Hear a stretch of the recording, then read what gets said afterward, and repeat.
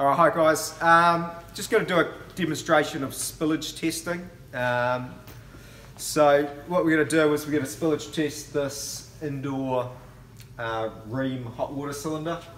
Uh, so we're going to check the flue, make sure that it's actually pulling, there's draft on the flue. We've let it warm up for about five minutes to raise the temperature of the flue uh, because when it's cold the hot air going up can potentially stall a bit against the cold surface. Uh, so we've let it warm up, it's been running for about five minutes. Uh, we're then going to go up here next to the downdraft diverter. I'm going to light this um, smoke match. We're going to make sure that it's actually drawing in the smoke, which means it's drawing in the air and the flue gases are travelling outside of the building rather than coming back down, interfering with the flame, causing vitiation and um, potentially causing carbon monoxide. So it's a check, safety check. Um, this should be done under worst case scenario, so windows and doors closed, um, any internal extracts turned on. Uh, so we're, basically we're trying to make it fail, uh, but hoping that it won't, so we don't have to put in extra ventilation. Uh, this is required even if um, your ventilation calculations say you don't need ventilation, because if it fails the spillage test, you're going to have to put it in anyway. So let's go ahead and do it. Get up in position.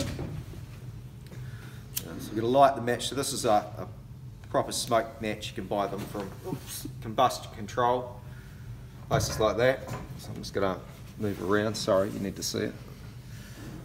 So it's looking pretty good. See, I pulled it out in the room. That wasn't the best option. So you can actually see that it's drawing in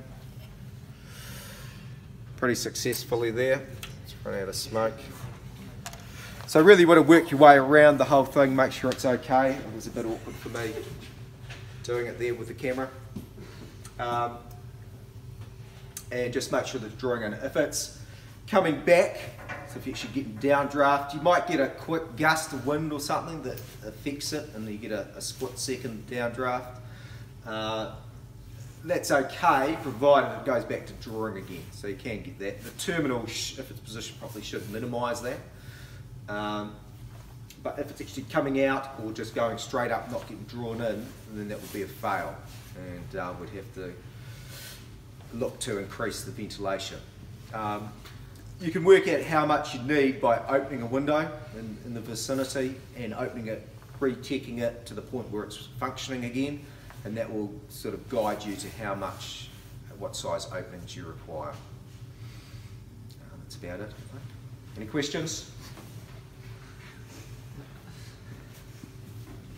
Class shot there, well done.